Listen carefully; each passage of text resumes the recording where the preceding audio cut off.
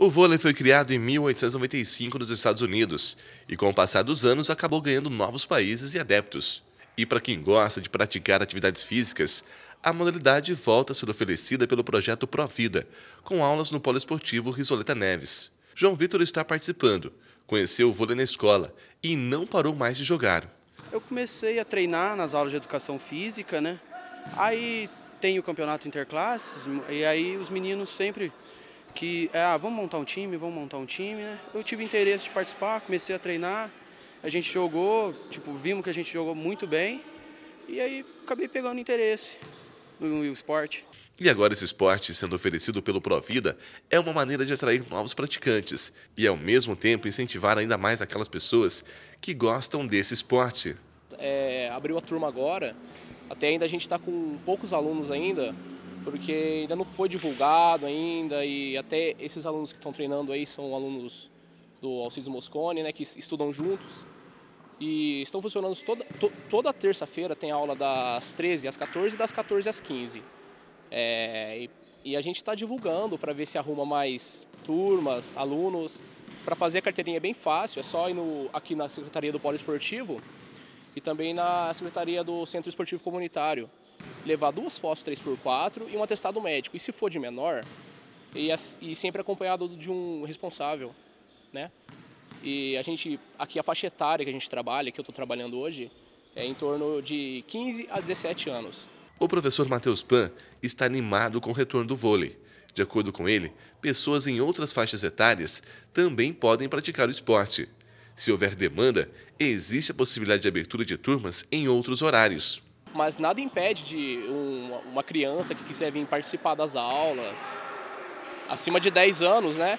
Um adulto que, mas só que esse horário é para quem trabalha é complicado. Então, a gente pode estar tá aderindo à possibilidade de abrir turmas à noite para para esse pessoal que trabalha e não tem possibilidade de vir esse horário.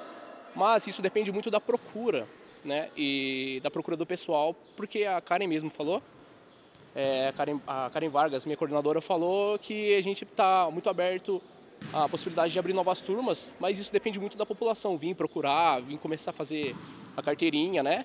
E é isso aí. Está no começo ainda, mas a gente está muito esperançoso, né? A turminha que está aí, super gente boa e super animados. Então o professor também está muito animado. Então é isso. Vamos, vamos começar e vamos ver até onde a gente chega. Os treinos estão sendo mistos com meninos e meninas. Os participantes estão gostando de jogar e sabem que essa é uma maneira de ajudar a difundir ainda mais o esporte, que em Andradas não tem tantos praticantes. Time misto, voleibol masculino e feminino, todo mundo junto, né? E tanto na escola quanto aqui, dá, elas também jogam muito bem. Às vezes tem umas que jogam até melhor que os meninos. É bom porque o voleibol ultimamente aqui em Andradas, ele vem mais em baixa, né? É mais futsal, handball. Aí o, a gente tentou tomar essa iniciativa para poder levantar um pouco o futebol, o voleibol em Andradas. E uma pergunta que muitas pessoas fazem: será que tem uma altura ideal para poder praticar o vôlei?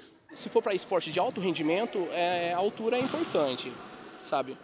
Mas a prática nada impede uma pessoa com baixa estatura de praticar o vôlei, entendeu? Até porque na tem posições no vôlei que nem de líbero, não, não precisa ser alto, entendeu? Então isso não impede ninguém de praticar o esporte, ninguém, é, como também é, é a mesma, a mesma história do basquete. Não é só porque a pessoa é baixa, de baixa estatura, que não vai deixar de praticar o esporte, entendeu? Então o esporte é para todos, tá? Completamente gratuito pela prefeitura, então não tem restrição nenhuma de quem pode ou de quem consegue vir. O vôlei brasileiro é muito respeitado com grandes títulos, seja no masculino ou no feminino. O esporte ganhou admiração e, como qualquer outra modalidade esportiva, traz uma série de benefícios para a saúde, além da interação com outras pessoas.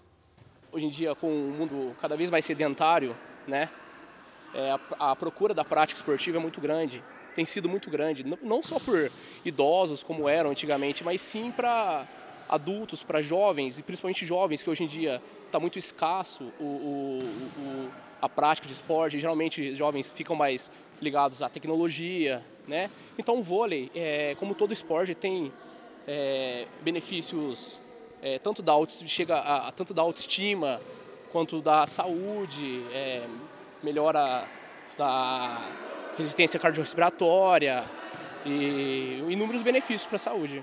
Convido todo mundo, terça-feira, todo da 1 às 3 horas da tarde, todo mundo comparecendo aqui é, para poder treinar com a gente. Daqui um tempo, quem sabe até a gente jogando um campeonato, né?